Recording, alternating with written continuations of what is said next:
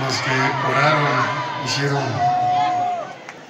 alguna oración, pidieron por mi padre para que regresara, para que se pusiera bien. Gracias, les agradezco con el alma y con el corazón en la mano. Gracias.